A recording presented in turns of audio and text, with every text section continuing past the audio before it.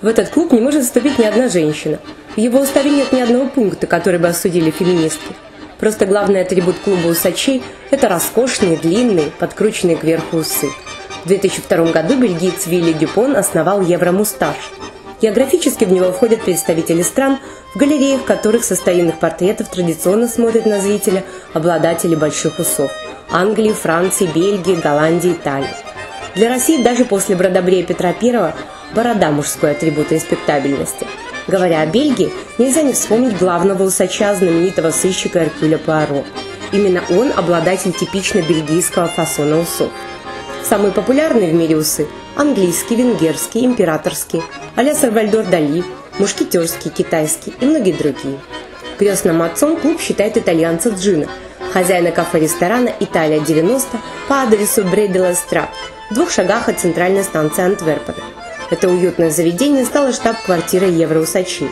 Джин и его жена Рита успевают уделить внимание каждому члену клуба.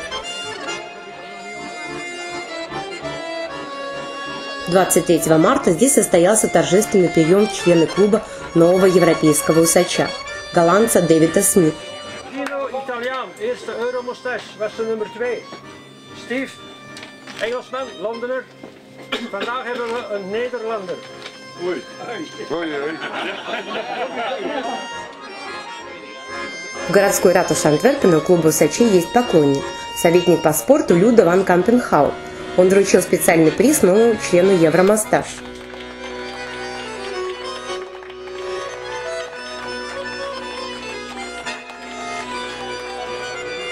Еще одна внешняя деталь. Все усачи носят шляпы канатье. Они, как орденская лента, несут на себе награды, полученные их носителями. Радио Руби связывает с клубом дружба пока длиной в год. Как не улыбнуться этим добродушным, веселым, оптимистичным усачам? Между носом и губами Есть участок с волосами Если вы уже лысы Вас тогда спасут усы Носи усы, носи усы